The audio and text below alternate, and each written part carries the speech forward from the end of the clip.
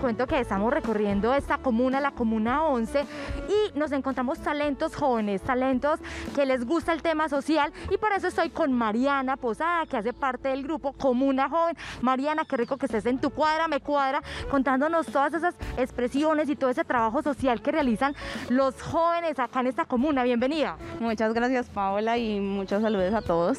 Bueno, Mariana, ¿qué es Comuna Joven? Bueno, Comuna Joven es un colectivo de 20 jóvenes de aquí de la Comuna 11 de todo el territorio que queremos es potenciar la participación de los jóvenes en este territorio vía la apropiación territorial. Entonces tenemos un montón de proyectos para poder activar a los jóvenes a pensar sobre su ciudadanía activa, sobre la apropiación y el habitar conscientemente. Sabes, Mariana, que este tema me gusta mucho porque muchas veces nosotros, que también soy joven, eh, se nos olvida de dónde venimos, qué está pasando con nuestro territorio, qué podemos hacer, cuáles son las necesidades y algo muy importante, se nos olvida esa historia bonita que nuestros abuelos, que esos líderes sociales que llevan años acá en las comunas, en los territorios, han construido y nosotros de un momento a otro como que se nos va olvidando y seguimos viviendo la vida. Hablemos de eso que ustedes hacen para recuperar esa memoria y esa tradición acá en esta comuna. Efectivamente, nosotros en Comuna Joven creemos que es súper rico ese conocimiento que tienen las personas adultas mayores de nuestra comuna, que son los que tradicionalmente han ejercido los liderazgos. Incluso para eso nosotros hemos creado ya dos proyectos.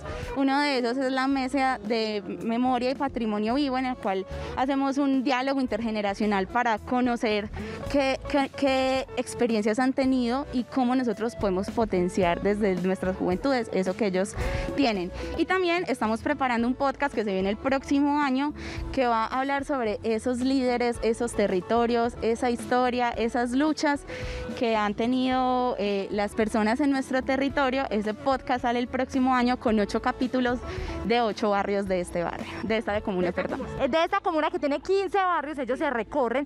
Y ahorita conversaba con Mariana y me contaba algo muy bonito y es, ellos no solamente hablan y escriben y presentan proyectos, no, ellos también hacen acción en el territorio. Y ahorita me contabas que hacías un trabajo con recicladores, ahorita me contabas que hacían un trabajo de árboles, eh, de, digamos, de recuperación del territorio, de sostenibilidad. Hablemos puntualmente de esos proyectos bonitos que ustedes ejecutan en la comuna. Bueno, el hijo más querido de Comuna Joven se llama Benipa al Barrio, ha tenido muchísimas ediciones hacemos recorridos históricos, culturales por los barrios, llamándolos a, los jóvenes de una manera un poco más creativa, decirles, hey, vámonos a parchar, vamos a ver qué hay aquí, qué necesidades hay, aquí quienes viven, qué necesidades tienen. Entonces, por ejemplo, te contaba que el último fue en el barrio Naranjal, que es un lugar que pocos jóvenes habitúan a ir de la Comuna 11 y allí hablamos sobre sostenibilidad, sobre la importancia, por ejemplo, de los recicladores que habitan en Naranjal para la sostenibilidad de nuestros barrios y así nos vamos yendo en estos recorridos, en proyectos, aportando y apoyando y llevando bienestar a las comunidades de nuestro territorio. Bueno, como una joven reúne, me supongo que otros colectivos eh, que existen acá en la comuna y no sé si en todo Medellín. Ustedes tienen una red que diga, pues nos podemos reunir, trabajamos juntos y tenemos proyectos en conjunto en todo Medellín y en toda esta comuna que son 15 barrios, recuerden.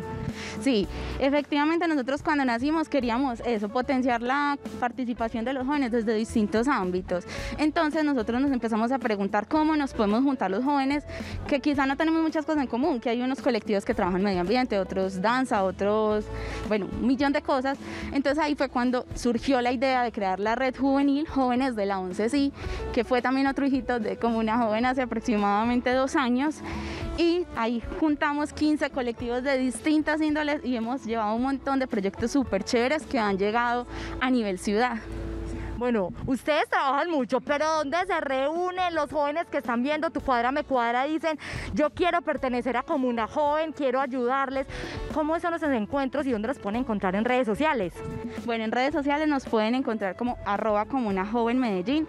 Ahí nos pueden escribir al directo, decir, hey, quiero participar, quiero mirar cómo puedo aportar o quiero ir a este proyecto, quiero estar en este conversatorio, en esta charla. Ahí les damos toda la información y bueno, y nos reunimos, somos muy itinerantes somos caminantes, nos gusta el territorio, entonces casi siempre estamos en un café, en un bar, en una acerita, en este barrio, en el otro. Entonces es súper chévere como esas reuniones. Igual nuestra casa ha sido la sede social de aquí, de San Joaquín, por eso estamos hoy acá. Bueno, ya Mariana, para despedirnos ese mensaje que usted le quiera enviar a los jóvenes eh, para que estén vinculados a estos procesos, para que amen su territorio, para que cuiden sus territorios.